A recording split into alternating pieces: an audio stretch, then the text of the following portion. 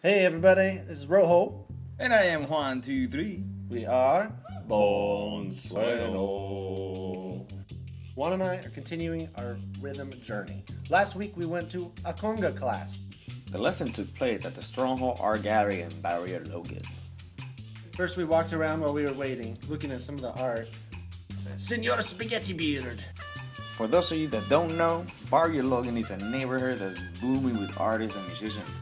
This particular afternoon, my favorite piece was this dragon head carved out of a 2,000 pound tree stump to look like the Mayan deity Quetzalcoatl. A big shout out to our friend Mike here for inviting us and letting us know about this great class.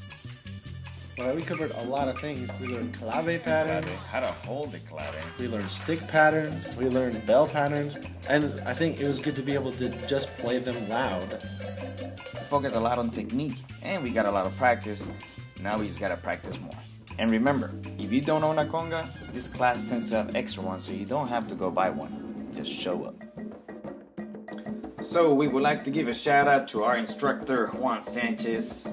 Of JuanSanchezMusic.com, go check him out. They play every week at the Stronghold Art Gallery San Diego.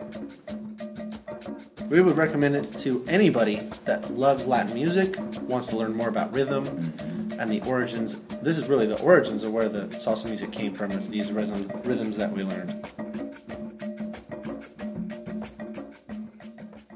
Okay. And we're back. Hey, everybody. Rojo here. And Juan two three here, We buddy. are no what, buddy? Isn't that what you say? Buddy.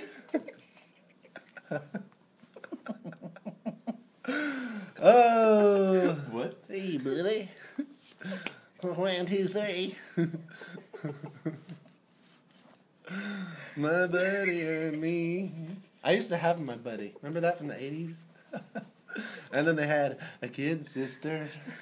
kid sister. Dulcura's dancing in the background.